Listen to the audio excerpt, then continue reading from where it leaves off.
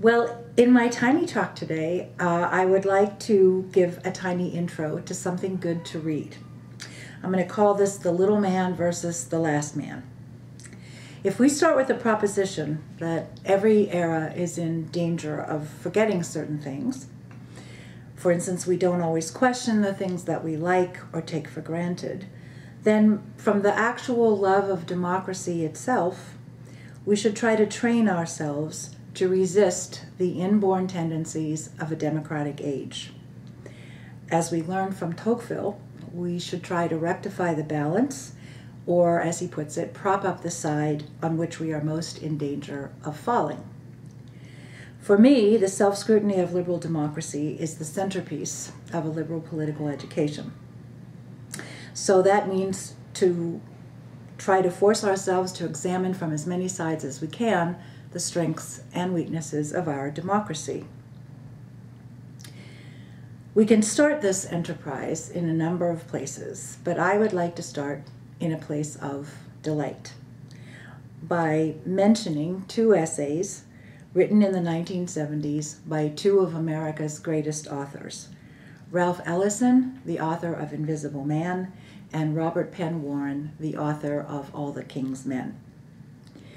Ellison and Penn Warren were friends, and both of them believed that it was the highest task of the American artist to reflect on America's fundamental principles and practices.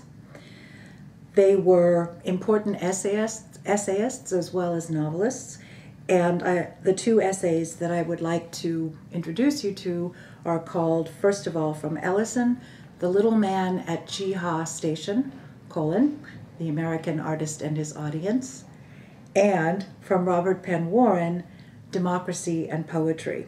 1974 Jefferson Lecture. In his essay, Ralph Ellison considers the meaning of poetry broadly conceived for our understanding of democracy. Warren, for his part, considers the impact of democracy on the poet. Ellison sees poetry and the state of the arts generally in America primarily as an expression of our strengths Warren sees poetry as the necessary antidote to our defects.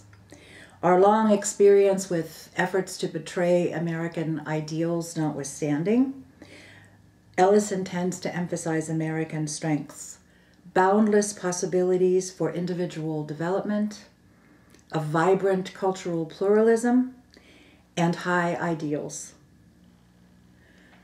For his part, Warren tends to emphasize the vulnerabilities of democracy, banal mass culture, consumerism, and the diminution of self. Ellison's metaphor for the upward pull on the self generated by American democracy is the little man. By contrast, Warren calls to mind Nietzsche's metaphor for democracy's downward drag on the soul, the last man. Together, Ellison's and Penn Warren's reflections present a comprehensive picture, in the process decidedly advancing the self-criticism of American democracy that should be a part of the examined life as we live it. What's Warren worried about? He says that democracy tends toward a kind of self-affirmation that chokes off aspiration, as if we start out on a road convinced we've already arrived achieving what he calls redemption without tears.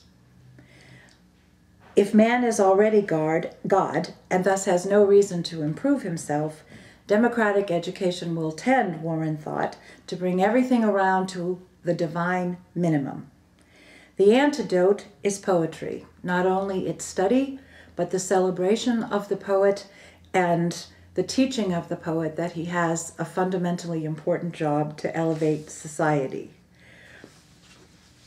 Ellison, Ellison's little man turns down the, or sorry, throws down the gauntlet at Nietzsche's last man, who he thought was the end product of democratic values.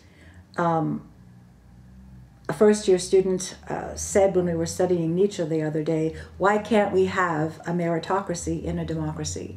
Ellison would say we can and do. There is a possibility there is nothing but possibility in democratic society. And for those who came to disbelieve in the possibility of or the desirability of integration, Ellison replies, We have always had cultural integration, and African Americans and other ethnic groups have been the co creators of our hybrid culture. We simply have to learn to see them because sometimes they are invisible. And the little man whom he calls upon in his essay um, is meant to show us how to look.